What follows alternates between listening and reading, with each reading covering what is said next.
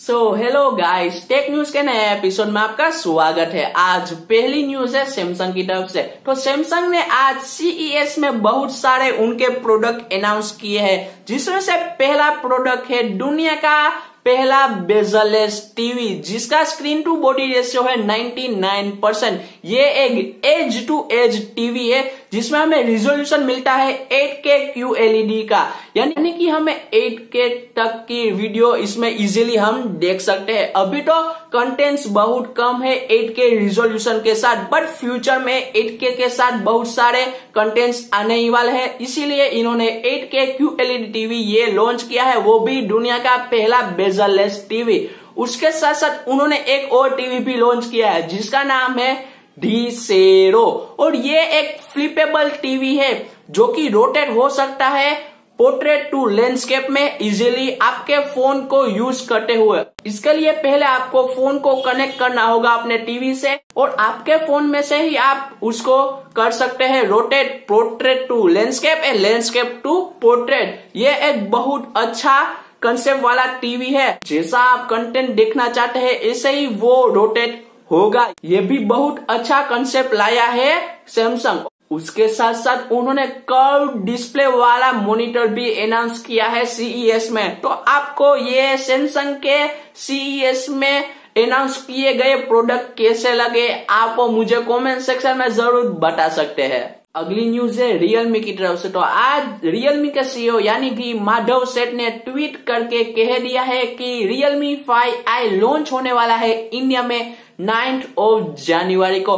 यानी कि ये इंडिया में नाइन्थ ऑफ़ जनवरी को लॉन्च होने ही वाला है और ये सिमिलर टाइप फ़ोन होगा Realme five and Realme five S जैसा। बट कुछ चेंजेस वो लोग इसमें करने वाले हैं। इसकी एक लाइव पिक्चर भी बाहर आ चुकी है। मैं आपको स्क्रीन पर दिखा रहा हूँ। क्या आप इसके लिए एक्साइटेड हो या नहीं, आपको मुझे कमेंट सेक्शन में ज़रूर बता सकते हैं। और अगर आपको मेरी ये टेक न्यूज़ एपिसोड पसंद आ रही है तो वीडियो को ज़रूर लाइक भी करना और चैनल पर नए और चैनल सब्सक्राइब भी करना।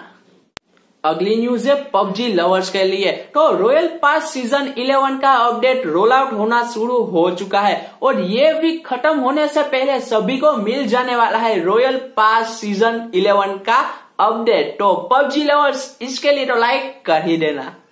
पॉपअप सेल्फी कैमरे के साथ तो बहुत सारे फ़ोन आ चुके हैं, हम सभी को पता ही है। बट आज ओप्पो ने एक नया पेटेंट फ़ाइल किया है। जहाँ पर हमें मोटोराइज कैमरा मिलने वाला है और ये मोटोराइज कैमरा हमें टॉप में नहीं मिलने वाला है फ़ोन के बट ये मिलने वाला है हमें राइट साइड में। फ़ोन के राइट साइड में ये मोटोराइज कैमरा हमें मिलने वाला है। ये कंसेप्ट तो इनका यूनिक है। अब पता नहीं ये कब तक ये कंसेप्ट के साथ फ़ोन लाएँगे। लाएँगे तो ये फ़ोन अच्छा यूनिक कंसेप्ट बन जाएगा। और आपको ये इनका कंसेप्ट कैसा लगा आपको मुझे कमेंट सेक्शन में ज़रूर बता ही देना।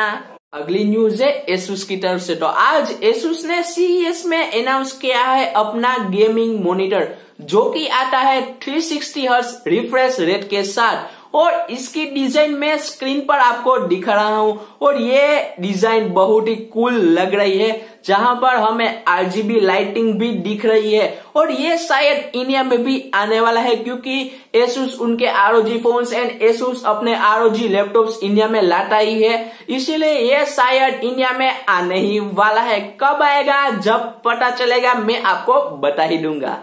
अगली न्यूज़ है वन प्लस की तरफ़ से। तो आज वन प्लस एट लाइट की लाइव पिक्चर बाहर आ चुकी है। मैं आपको स्क्रीन पर दिख रहा हूँ। और वहाँ पर हमें बॉक्स में बहुत सारे वन प्लस के फोन्स दिख रहे हैं। और वहाँ पर हमें एक अननोन वन प्लस का फ़ोन दिखाई दे रहा है। वो है वन प्लस एट लाइट क्योंकि पहले जो उसके रेंडर्स आ रहे थे, उससे ये सिमिलर लग रहा है। और उसके बाजू में है वन प्लस सिक्सटी वो वन प्लस एट लाइट नहीं है वन प्लस सिक्सटी ही है। क्योंकि वन प्लस सिक्सटी में ही हमें मिलती है बहुत बड़ी नोच और ये बाजू में है वन प्लस एट लाइट जहाँ पर हमें ट्रिपल रियर कैमरा दिखाई दे रहा है। और पता चला है कि इसमें हमें स्नैपड्रैगन 855 मिलने वाला है 855 और इसकी प्राइस होने वाली है करीबन 25 to twenty six thousand rupees तो क्या आप वन प्लस एट लाइट के लिए एक्साइटेड हो या नहीं? आपको मुझे कमेंट सेक्शन में ज़रूर बता ही देना। एप्पल सीईएस 2020 में पार्ट लेने वाला है, वो भी 28 इयर्स के गैप के बाद।